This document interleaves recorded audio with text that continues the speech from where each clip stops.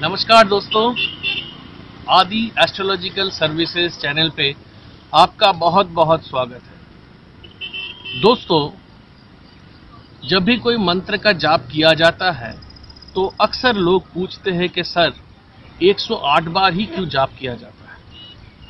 तो इसका जो उत्तर था, वो मेरे पास पहले नहीं था। लेकिन काफ़ी रिसर्च के बाद एक महान व्यक्ति का वीडियो देखने के बाद मुझे ये जानकारी मिली कि कोई भी मंत्र का 108 बार जाप क्यों किया जाता है? वो महान व्यक्ति कोई और नहीं, वो महान व्यक्ति है सदगुरु जी उन्होंने इतना अच्छा एक्सप्लेनेशन दिया कि मैं जैसे जैसे आपको इसका कारण बताऊँगा, आप हैरान हो जाएँगे।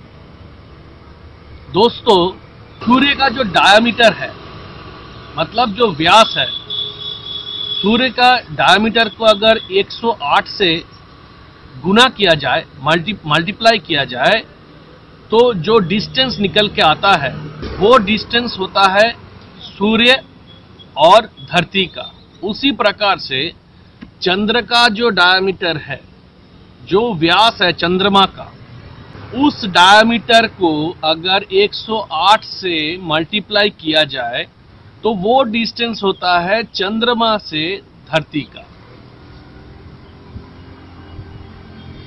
इसके साथ हमारे ब्रह्मांड को 12 भागों में भाग किया गया है। और हर भाग को एक एक राशि का नाम दिया गया है।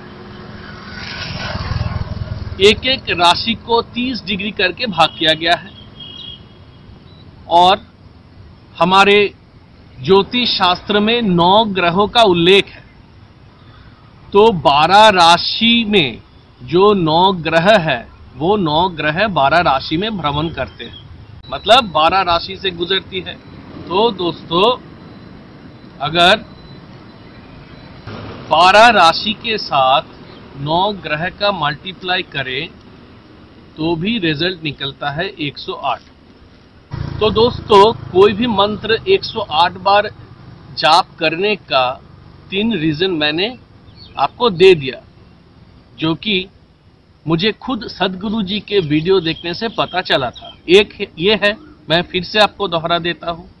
पहला है सूर्य का जो व्यास है, उसको अगर 108 से मल्टीप्लाई किया जाए, जो डिस्टेंस निकलता है, वो है सूर्य से धरती का डिस्टेंस दूसरा रीजन चंद्रमा का जो व्यास है, जो डायमीटर है, उसको अगर 108 से मल्टीप्लाई किया जाए तो वो है चंद्रमा से धरती का डिस्टेंस तीसरा है, हमारे ज्योतिष शास्त्र में 12 राशि का उल्लेख है। और नौ ग्रह का उल्लेख है। अगर आप 12 राशि को नौ ग्रह से मल्टीप्लाई मतलब गुना करते हैं तो भी उसका रिज़ल्ट 108 ही निकलता है।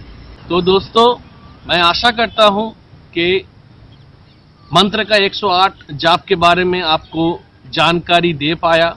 अगर आपको मेरा वीडियो पसंद आया हो तो वीडियो को ज़रूर लाइक कीजिए कमेंट कीजिए, शेयर कीजिए और चैनल को सब्सक्राइब ज़रूर कीजिए।